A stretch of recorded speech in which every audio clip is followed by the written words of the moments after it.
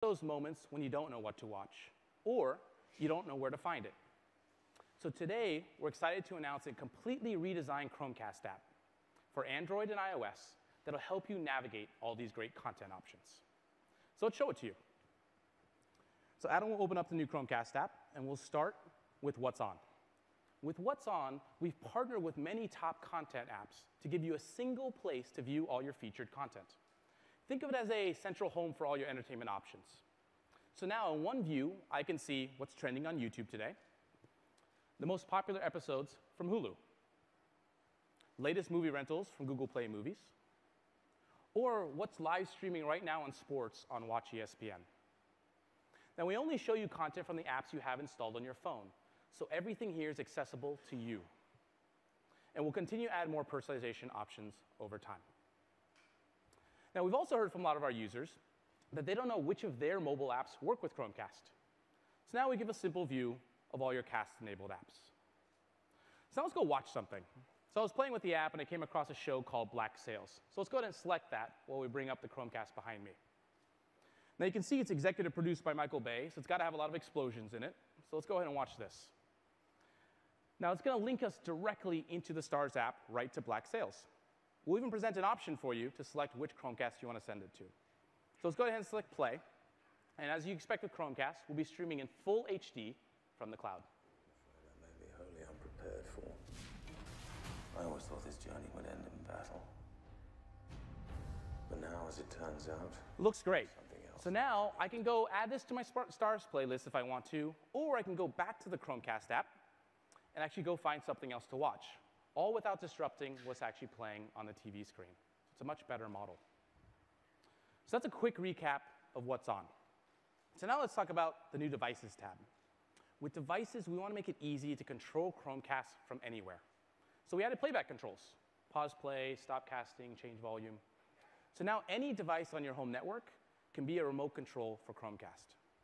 It works great when you have friends over, they can use their own phones to actually pause the playback. So I'll quickly go to Get Apps. We have thousands of apps that have been cast enabled and many more coming all the time. So we need a better app discovery process. So we redesigned the page completely. And here you'll find new recommendations, new apps, even new offers. So we encourage you to check it out. So now let's talk about search.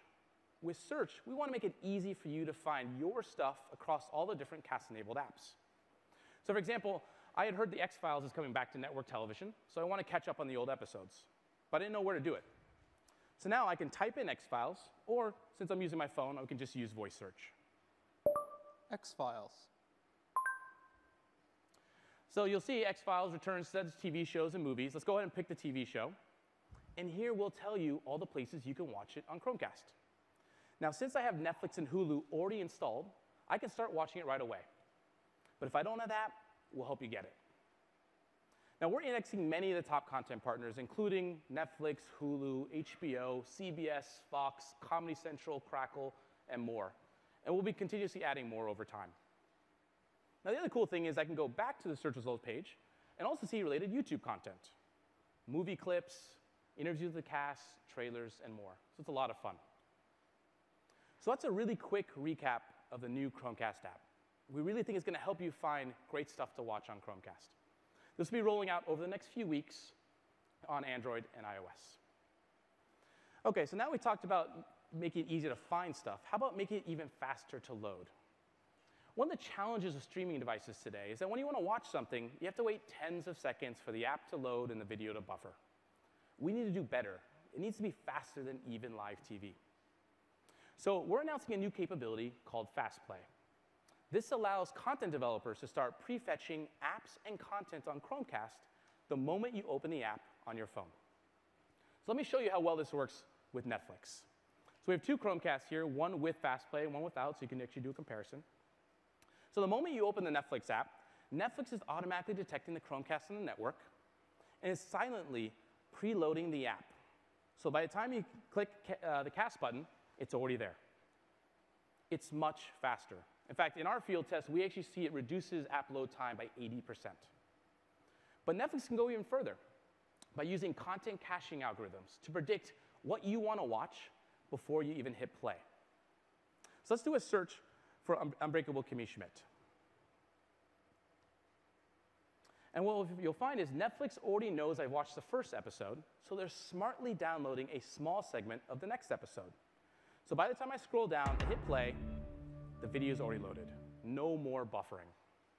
It totally changes a streaming experience. Listen up. I'm listening. Good. Now, we're going to roll this out to all content partners. Many of the improvements will be rolling out today, with content prediction features early out, rolling out early next year. We're really excited. So, now let's talk about gaming. Gaming is obviously a very big part of the living room experience. But one of the challenges is that gamers are always looking for the latest and greatest hardware. So, what does that mean for a product like Chromecast, which is designed to be simple and lightweight? Well, fortunately, we can take advantage of the most powerful gaming device in many people's homes today their smartphone. So at Google I/O, we launched new developer tools called the Remote Display APIs.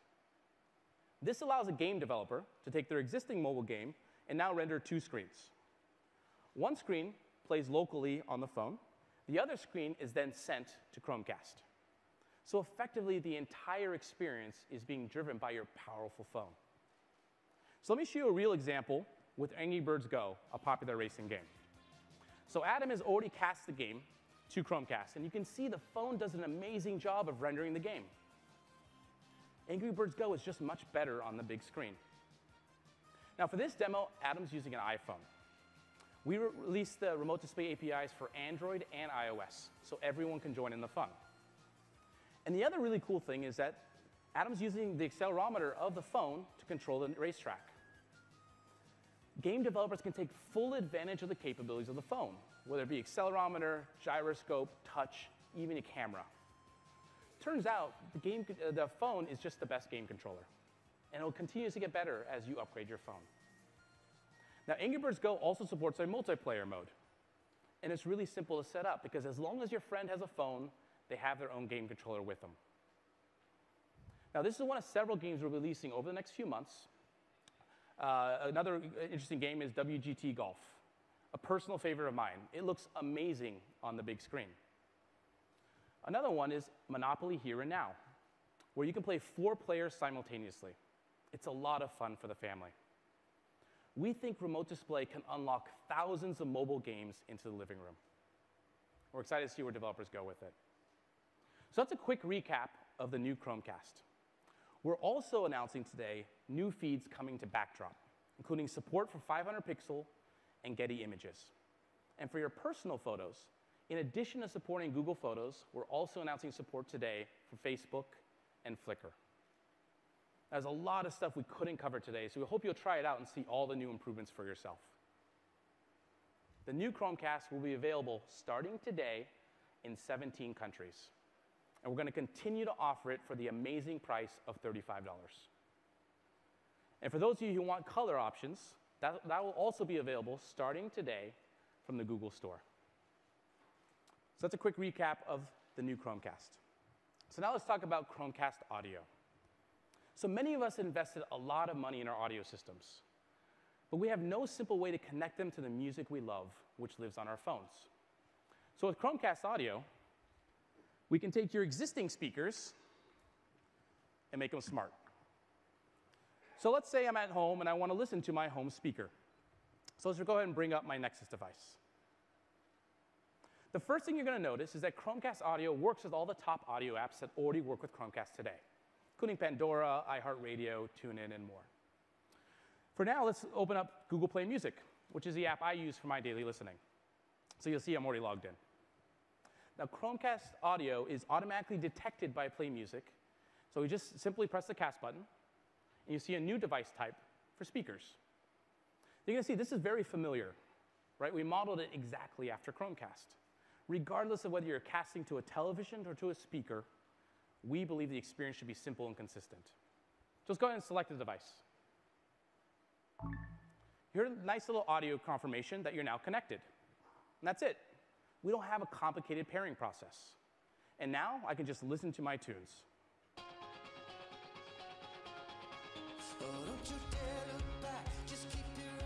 We're streaming the highest quality audio through Wi Fi to my old home speaker.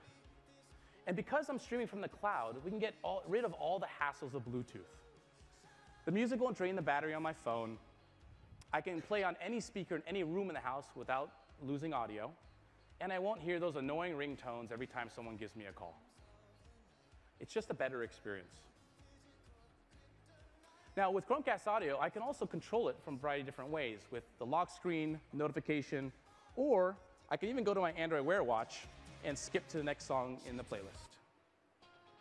Oops, I skipped one over. there we go. It's really cool. Now, of course, our home speakers are shared devices. It should be easy for anyone in the home to share their own music. So Chromecast Audio automatically works with phones, tablets, and laptops that are connected to your home network. And we also support guest mode. So you can enable friends who don't have your Wi-Fi password to cast to speakers in the same room. So let's pretend my wife walks into the room and she wants to cast her Spotify playlist. Well, today we're excited to announce Spotify supporting Chromecast and Chromecast Audio. This will be rolling out to all new devices starting today and older generations of Chromecast over the next few weeks. So let's bring up my wife's phone, which happens to be an iPhone. Of course, with Google Cast, we're cross platform. So, regardless of whether you're an Android user, iOS user, or web user, you can cast your music to Chromecast Audio. And now, just like we saw before, all my wife needs to do is press the cast button, select the device, and our music will transition from the phone to the speakers. It's really easy. And she can do this all from the Spotify app. She shouldn't have to learn a new app just because she wants to listen to music at home. It's the same app at work, in the car, and now at your house. Now, the other cool thing is Spotify can support multiple users at the same time. So let's say I want to skip to the next song in my wife's playlist. Well, it turns out I can use my own phone to do it. So let's bring back my Nexus device and open up Spotify. Spotify immediately detect what's playing on the home network and synchronize with the playlist. So now I can actually just swipe to go to the next song. It's really cool. Now, of course, this may start a few battles of which song to play next, but it's really easy. So that's a quick recap of the new Chrome, Chromecast Audio. Now, we're going to continue to bring more and more apps to Chromecast Audio, but until then, we want to make it easy for you to send any audio to your speaker.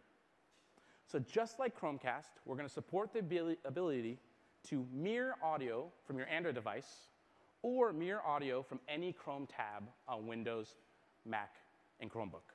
So now you can send audiobooks, podcasts, local music, even YouTube videos right to your home speaker.